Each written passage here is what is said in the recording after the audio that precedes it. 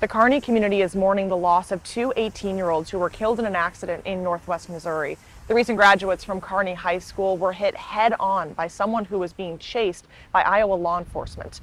I'm Isabella Ladon with KSHB 41 News, and we're looking into what led up to the crash. It's just a very traumatic event. Missouri State Highway Patrol is investigating a crash on I 29 that left three people dead and three people hospitalized. Kearney's mayor made a statement on Facebook offering his condolences for the families of the two teens who were killed and the third 18 year old passenger who was flown to the hospital. The Kearney School District confirmed all three graduated in 2024. It's unfortunate for all of the ones that are involved and their families and their communities and, and everybody that's involved.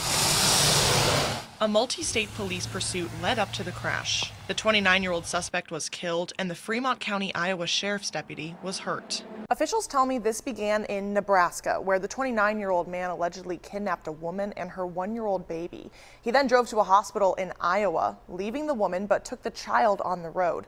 That's when Iowa State Patrol and the Fremont County Sheriff's Office began looking for the man, and a pursuit shortly followed.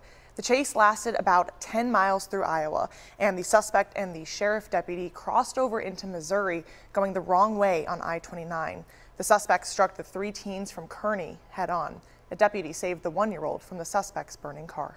The Fremont County Sheriff's Office says the pursuit was within department guidelines. They're investigating the chase, but the deputy is not on leave. As for the allegedly kidnapped woman and child, authorities say they've been reunited at a hospital in Nebraska. It's a traumatic, devastating event for any time someone is killed in a motor vehicle traffic crash.